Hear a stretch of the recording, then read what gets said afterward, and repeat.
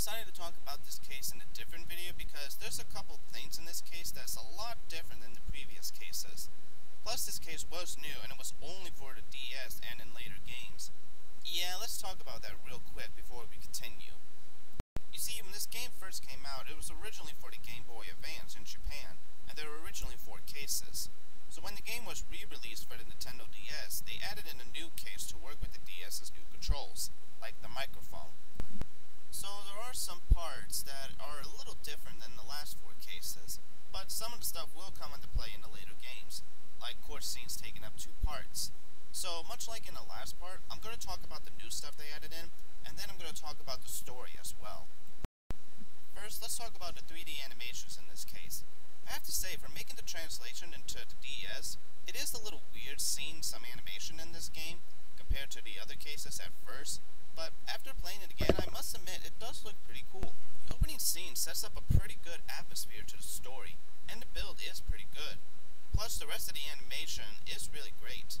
It moves really nicely, and it fits pretty good into the backgrounds of the game. For animation, I'll give it a 9 out of 10. You also have a new mechanic that will be used for later games. For example, now when you find clues, you can examine the evidence more closely and carefully from each angle. You also have two items that you can use for your investigation. One of them is the luminol testing fluid, where you can use it to find hidden bloodstains by just tapping your touchscreen on the DS. And you also have the aluminum powder for fingerprints. If you find something that looks like a handprint, you can choose a finger that will most likely give you a fingerprint. All you have to do is touch the screen to spray the powder into different spots, and then you have to blow the stuff away by blowing into your microphone. If you're playing this on an emulator, then all you have to do is choose a button for your microphone and you can just press the button to remove the powder. But I would highly recommend that you get a microphone for reasons you'll probably see later. Now as for the new stuff they added in for this case, I actually like, but at the same time, because we're so used to just picking up the clue, that we almost forget that we can look closely at it and they don't really use it all that much to their advantage. But still, it actually does feel like we're investigating the case, and I do like some of the parts they added in as well. So for the investigations, I'll give it an 8 out of 10. Now to give my thoughts on music real quick. I've already stated in the last part on how much I love the music, and in this case it's no different. There's still some really good scores in here to match with the characters and the settings, and just like last time, I'll give the music a 10 out of 10. Okay, now let's talk about the story and the case itself real quick.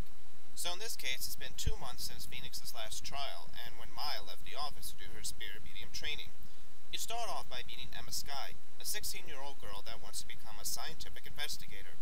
Her sister, Lana, is in jail for, big shock, a murder case.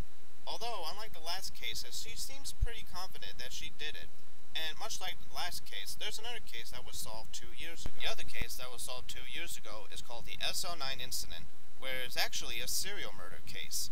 Anyway, along the case, you'll meet some new characters, like a detective who thinks he's from the Wild West named Jake Marshall, a lunch lady named Angel Starr, Officer Meekins, who, yeah, he's just an officer, and Damon Gant, who is by far the best villain and best character ever, and each of them has both ties to this case and the SO9 incident.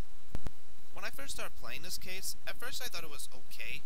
Like I said, I love the fact that you get to do more stuff when it comes to examining a crime scene, and seeing some of the new places was pretty cool.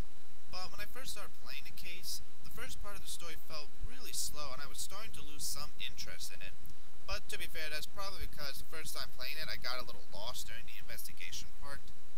But at the end of Jake Marshall's trial, I was starting to get interested in the story, and playing this case again, it's not as bad as I thought it was.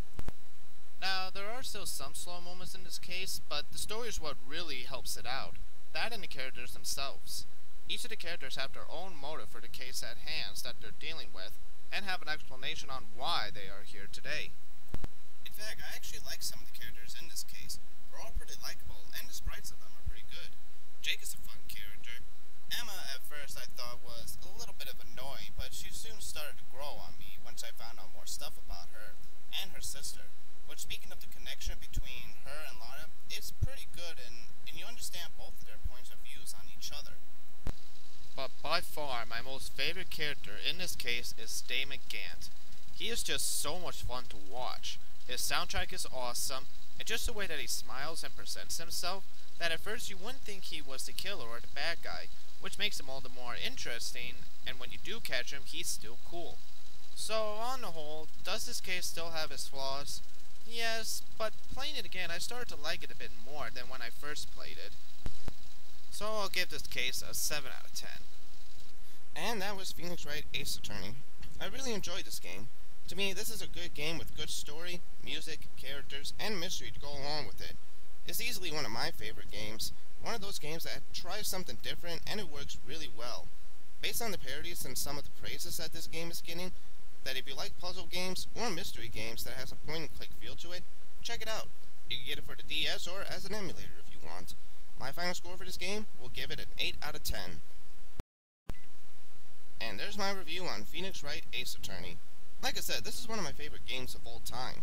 It's not the best game that has ever come out, but I still really enjoy it enough that I wouldn't mind playing it again.